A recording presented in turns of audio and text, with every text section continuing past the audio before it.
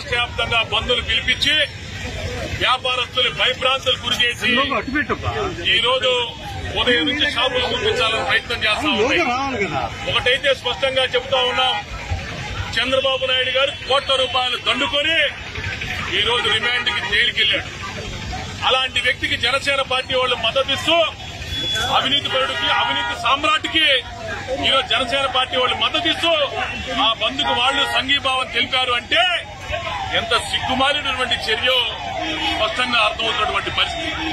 మేము గతంలో చెప్పాం చంద్రబాబు నాయుడికి పవన్ కళ్యాణ్ పూర్తిగా అమ్ముడు పోయాడు దత్తపుత్రుడిగా వ్యవహరిస్తా ఉన్నాడని చెప్పేసి ఈ రోజు పవన్ కళ్యాణ్ నిన్న వ్యవహరించినటువంటి తీరు చూస్తా ఉంటే యావత్ కాపు జాతి మొత్తం సిగ్గుతో తలదించుకోవాల్సి వస్తా ఉంది.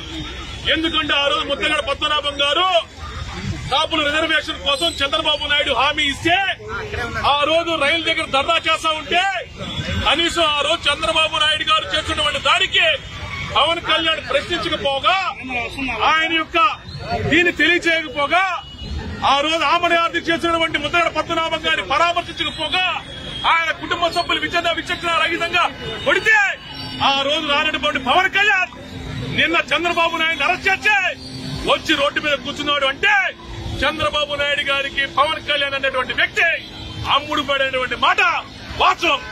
ఏ రోజు రాజమండ్రిలో ఇరవై ఎనిమిది మంది పుష్కరాలు చనిపోతే వచ్చావా పవన్ కళ్యాణ్? కాపు జాతికి అన్యాయం జరిగితే ఏ రోజున వచ్చావా?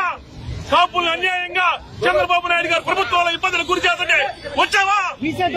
కేవలం చంద్రబాబు నాయుడికి తెలుగుదేశం పార్టీకి కొత్తాసు పలుకుతూ ఈ రోజు నీ పార్టీ చేస్తా ఉందంటే ఎంత నీతి మాలినటువంటి చర్య? చంద్రబాబు నాయుడు కాళ్ళ దగ్గర కాపు జాతిని తాకట్టు పెట్టాలని ప్రయత్నం చేస్తే ఎట్టి పరిస్థితులు ఉపేక్షించే ఉపేక్షించేటువంటి పరిస్థితి లేదు. తప్పకుండా ఎదుర్కొంటాం. తప్పకుండా పవన్ కళ్యాణ్ నీ ఆటలిక నుంచి సాగవు. నువ్వు ఏది చేయాలనుకున్నా సరే మేము తిరగబడతాం. మేమందరం కూడా ఒకటి చెబుతా ఉన్నాం. ఈ రోజు నువ్వు కాపు యువకుల్ని కాపుల్ని అడ్డం పెట్టుకుని నువ్వు చంద్రబాబు నాయుడికి ఊడిగం చేయాలనుకుంటే అది కుదరదు. చంద్రబాబు నాయుడికి ఊడిగం చేయాలంటే కుదరదు. నువ్వు రంగాన్ని చంపింది చంద్రబాబు ముద్రగడగాన్ని కొట్టింది చంద్రబాబు. ముద్రగడ గారిని విచక్షణ రహితంగా కొట్టిన చంద్రబాబు ముద్రగడ గారి కుటుంబాన్ని కొట్టిన చంద్రబాబు కాపు జాతిని అన్యాయంగా అడగదొక్కింది చంద్రబాబు. ఇలాంటి చంద్రబాబుకు నువ్వు మద్దతు ఇవ్వాలని ప్రయత్నం చేస్తే ఎట్టి పరిస్థితులను ఉపేక్షించ పవన్ కళ్యాణ్. ఒకటి చెప్తా ఉన్నా నువ్వు అమ్ముడు పోయావు నువ్వు సోల్డ్ అవుట్ నువ్వు మొత్తం తారా తత్తంగా ఈ రోజు లోకేషే. అసలు నేను చంద్రబాబుకు పుట్టానా? లేదా పవన్ కళ్యాణ్ పుట్టాడు అని చెప్పేసి ఆలోచన ఈ రోజు రాష్ట్ర ప్రజలు కాదు. చంద్రబాబు కుటుంబ సభ్యులే చేస్తా ఉన్నారు. అరే నీ అంకమా లోకేషే రోడ్డు మీద కూర్చుంటే నువ్వెందుకు ఆ సన్నాచి రోడ్డు మీద పడుకున్నావు? నిన్ను ఎందుకు పడుకోమన్నారు? నిన్ను ఎవరు పడుకోమన్నాడు నువ్వు వెళ్ళి రోడ్డు మీద ఈ రోజు రంగాన్ని చంపిన చంద్రబాబు ముద్రగడ కుటుంబాన్ని కొట్టిన చంద్రబాబు ముద్రగడ భార్య చంద్రబాబు ముద్రగడ గారి కొడుకును కొట్టిన చంద్రబాబు. అలాంటి చంద్రబాబునే అరెస్ట్ పంపిస్తే నువ్వు రోడ్డు మీద పడుకుంటావా? రకాలుగా ఇబ్బంది పెట్టాడు. ఈ రోజు చిరంజీవి గారి పుట్టినరోజులు రంగా గారి వర్ధంతులు రంగా గారి జయంతులు చేసేటువంటి పార్టీ వైఎస్ఆర్ కాంగ్రెస్ పార్టీ. ఈరోజు మీ ముందుకు ఒక అంశాన్ని తీసుకొస్తున్నాను. అన్ని పాములు ఆడుతున్నాయని ఏలికి పాము ఆడిందంటారు ఒక సామెత. అలాగా ఇడెవడో ఒక కొత్త మేలు రకం మున్నమోపి సన్నాసి బాడ్కోవ్ బట్టెబాజ్ గుంటూరు నగరం మేయర్ అంట. ఇడు గుంటూరు మేయరో లేదంటే వైసీపీ పార్టీ డ్రాయరో తెలియదు. వీడి భాష వీడు ఒక ప్రథమ పౌరుడు సభ్యత సంస్కారం లేకుండా ఇలా తల్లి వీడిని కనిందో లేకుంటే కక్కిందో తెలియదు. వాడు వచ్చి అనవసరంగా ఏ విషయం లేకుండా మా అధ్యక్షుడు పవన్ కళ్యాణ్ గారిని నోటుకొచ్చినట్టు మాట్లాడుతున్నాడు. ఎట్టి పరిస్థితుల్లో ఉపేక్షించాడంట. సరేరా ఏం చేస్తావు చేసుకో. ఏం పీకుతావో పీక్కోరా ఆడంగిలేదువా నోటుకొచ్చినట్టు మాట్లాడుతున్నావు. ఏంది? చిరంజీవి అన్నయ్య పవన్ కళ్యాణ్ గారి సినిమాల టికెట్లు అమ్ముకొని బ్లాక్ టికెట్లు అమ్ముడుకొని పెరిగిన బేవర్స్ గాడివి నీకు నోటికి ఎంత వస్తే అంత.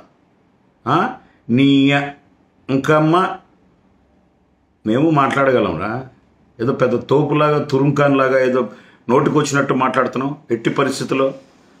మీ గుంటూరులో ఒక జన సైనికుడు మలతాడుకుని ఒక ఎంట్రుకు బీకి చూసి చూపించు పింట్రుకు కూడా బీకలేవురా నువ్వు. నువ్వేంది మాట్లాడుతున్నావు? మా నాయకుడి గురించి? ఏందేందో? సొల్లు కబుర్లు. రంగా గారిని చంపినారంట ముద్రగడ గారిని తిట్టినారంట ఈయన పెద్ద.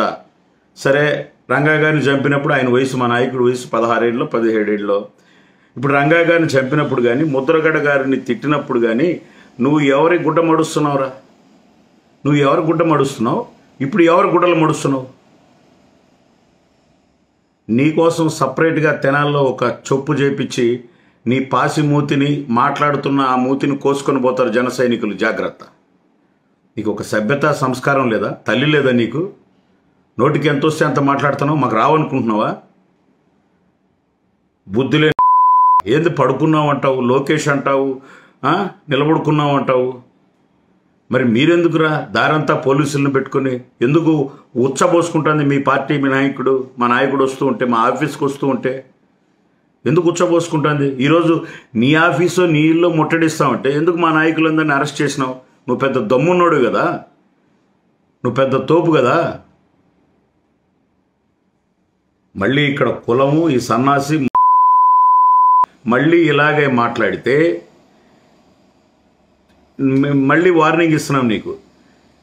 తెనాలిలో ఒక సపరేట్ మెట్టు చొప్పు నీకోసం చేపించి మూతి కోసేది ఒకరైతే ఒక్కో జన సైనికుడుకు నీ ముప్పై రెండు పనులు ఒక్కొక్కటి ఓడగొడతాం. జాగ్రత్త. నోరు అదుపులో పెట్టుకొని మాట్లాడు. కంట్రోల్గా ఉండు.